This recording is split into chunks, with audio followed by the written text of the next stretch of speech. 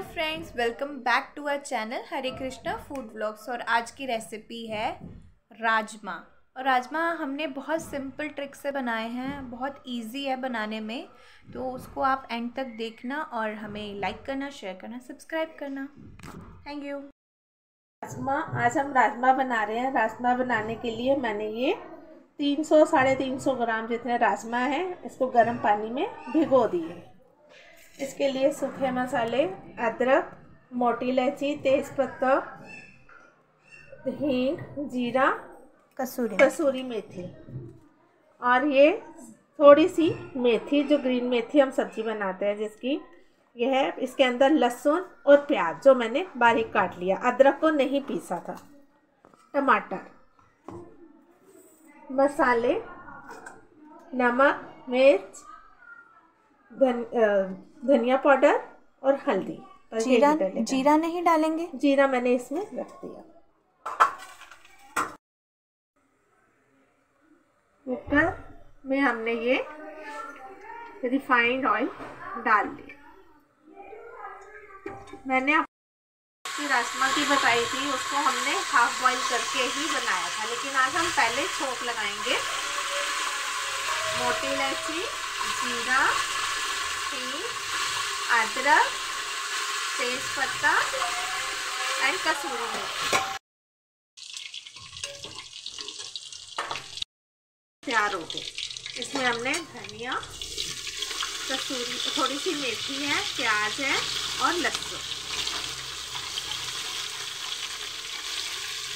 अब हम इसे थोड़ा सा पिंक होने तक इसे भूनेंगे मेरा प्याज का मसाला भूनकर तैयार हो गया है। अब हम इसमें डालेंगे दो छोटे चम्मच लाल मिर्च, दो छोटे चम्मच लाल मिर्ची, नमक नमक अपने स्वादानुसार, हल्दी, धनिया पाउडर, एंड थोड़ा सा गरम मसाला। इसे डालकर हम अच्छे से मसालों को भून लेंगे।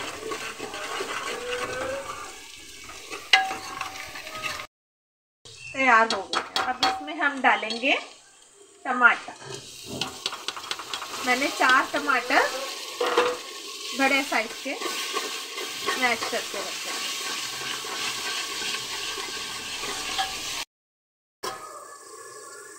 में हम बिल्कुल थोड़ा सा पानी डाल ये राजमा वाला ही पानी है जिसमें मैंने राजमा भिगोए हुए थे।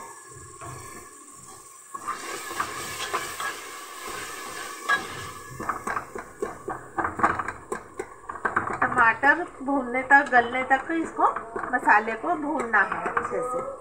अभी ये घी छोड़ देगा, फिर हम राजमा डालेंगे। प्याज, टमाटर का मसाला तैयार हो गया देखो इसने घी छोड़ दिया। अब हम इसके अंदर भिगोए हुए राजमा डाल मैंने गर्म पानी में सिर्फ़ 10 मिनट के लिए राजमा भिगोए अब राजमा को इसके अंदर अच्छे से भूनेंगे, इस मसाले में।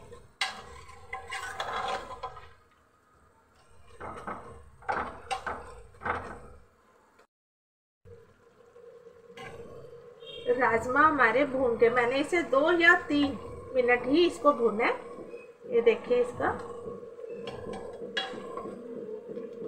मसाला अच्छे से राजमा में भूल गया है। अब हम इसके अंदर पानी डालेंगे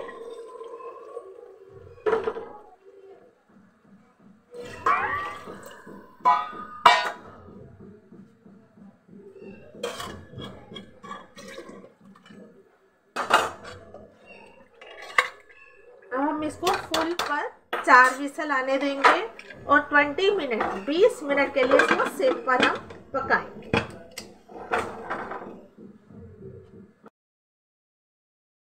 राजमा बनकर तैयार है। अब थोड़ा सा इसको और छोंक देने के लिए पैन पैन में मैंने बटर, घर का बना हुआ बटर है। सूखी तीन लाल मिर्ची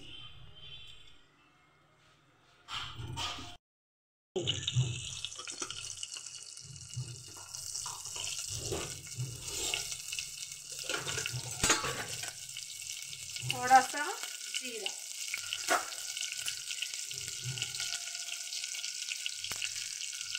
आधा छोटा चम्मच लाल मिर्ची पाउडर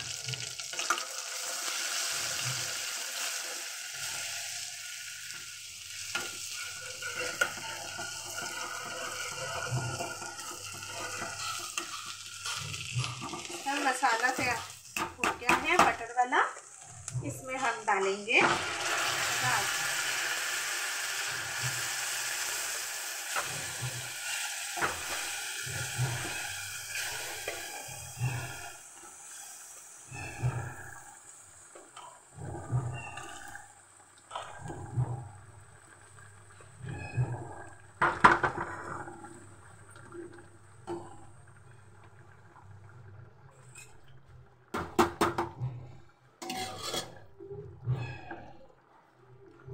राजमा तैयार, इसके ऊपर हरा धनिया धोकर काटा।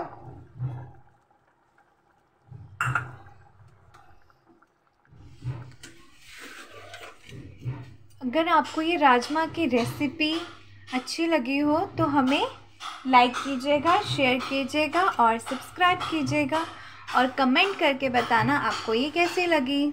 Thank you thanks for watching